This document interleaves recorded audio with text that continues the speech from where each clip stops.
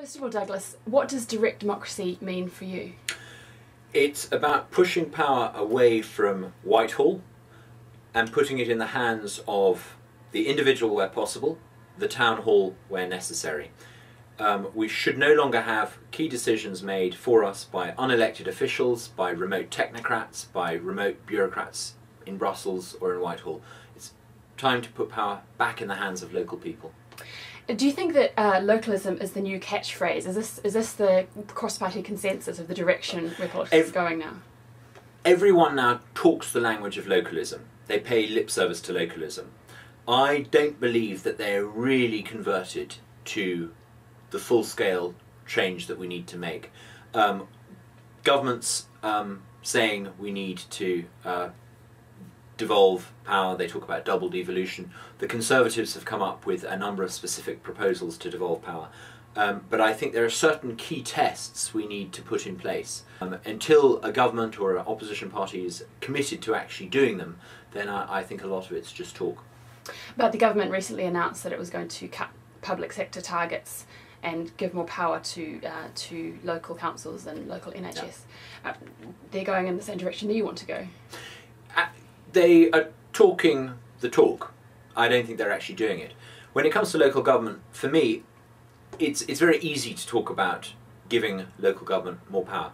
Governments of all parties have talked about that for 30 years, and yet the reality has been centralisation.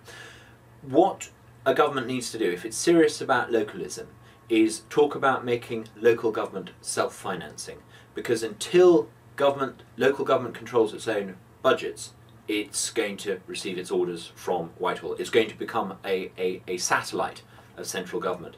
Uh, it's, it's about the money. Until we can come up with a coherent proposal to localise control over money, it's all talk. Does the Direct Democracy Group and yourself, um, do you agree that democratic renewal in this country will, will not be effective without electoral reform? I think you need electoral reform but I'm cautious about some of the models. I think the worst possible thing you could do is adopt a straightforward system of ill considered PR because it's about accountability. At the moment, there's no real accountability. It is fair to say, I think, that most members of parliament have seats in parliament that realistically they're not going to really lose. It doesn't really matter what happens, they're not going to lose their seat. This makes most of our parliamentarians unresponsive. We need a, a, a, change to make sure that they become responsive. Now, a party list system of the kind envisaged by most people who advocate electoral reform, I think would make the political classes even less responsive if we had, for example, state funding of political parties and PR, we would have an almost entirely unaccountable ruling political class in Westminster.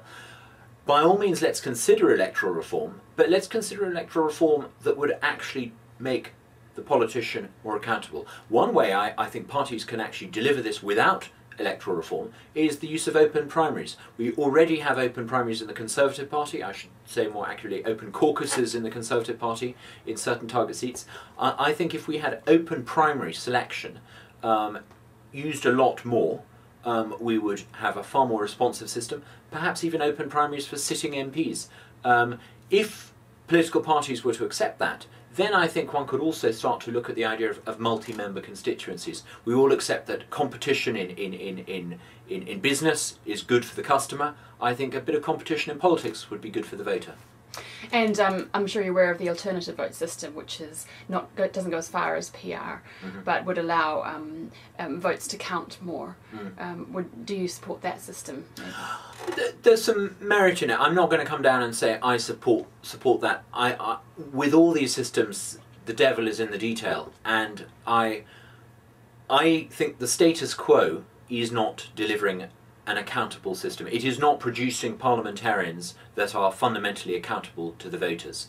And because of that, more and more people are giving up on the democratic process and not voting.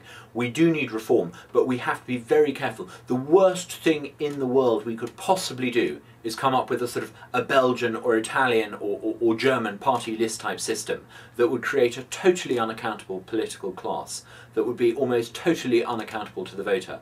Um, we, we need to look at how to democratize the selection process, the, the party political system. In the age of YouTube, it's absurd that a small clique of people decide who the candidate is for a particular party. Let's open that process up. Multi member constituencies used to exist in this country. I believe Harwich, my own constituency, at one time used to return two members of parliament um, to, to Westminster.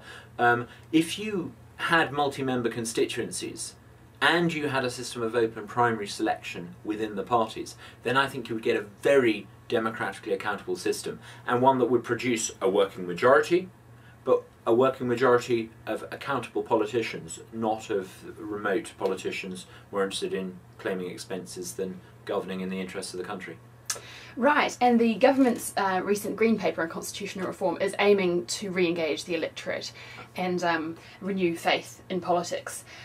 Do you think that the Green Paper went far enough? Was there anything that you would have liked to have seen that didn't come up?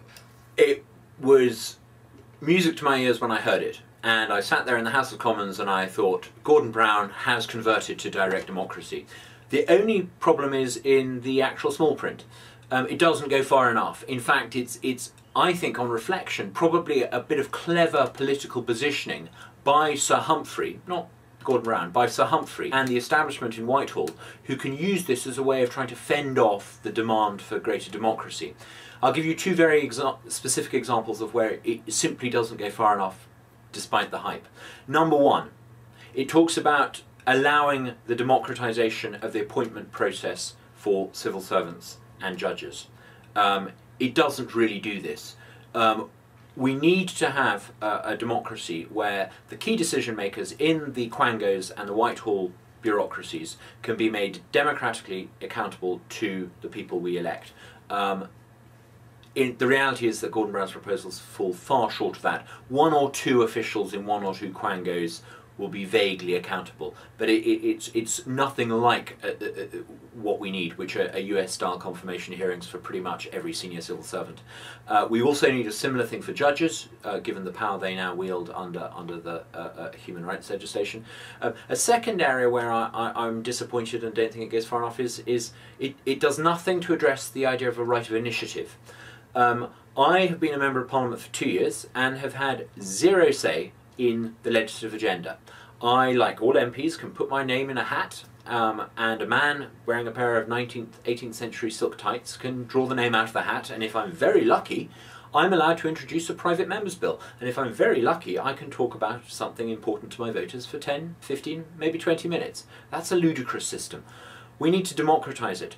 Why don't we have the Queen's speech, which is a wonderful uh, occasion, uh, she would read out the ruling administration, the governments, the senior civil servants, legislative wish list. Then she should read out a second speech, the People's Bills. Those petitions demanding a second vote on a particular measure, MPs wouldn't have to vote for it, but they would at least start to having uh, start to have to address the issues of concern to the electorate. Um, that's the sort of thing I would have liked to have seen in it. I actually stood up and said to Gordon Brown during the statement, did he envisage a right of initiative? Um, his answer, unfortunately, was no. Um, that's something that, if we're serious about direct democracy, uh, we need to embrace. And finally, a very quick word on the House of Lords. Um, it looks like it will eventually be all or mostly elected. Do you think that will change its powers or its role at all? Um, we certainly shouldn't have people making our law who are not elected by the people expected to live under the law. Um, I'm very pleased that Britain has caught up with the rest of the world 200 years after the United States and uh, several, many decades after uh, many other countries and accepted the principle of, of, of democratic lawmakers. Um, I, am all in favour of electing um, or having elected people in the Lords. But the thing I'm slightly cautious about is creating a new tier of politician, particularly if it's a new tier of politician off some horrible PR regional list, which would mean another group of politicians. Um, I'd very much like to see local councillors and the heads of local council sitting in the second chamber. They would be elected locally, they would have a democratic mandate, but not one that could challenge the primacy of the Commons. It's what Germany has.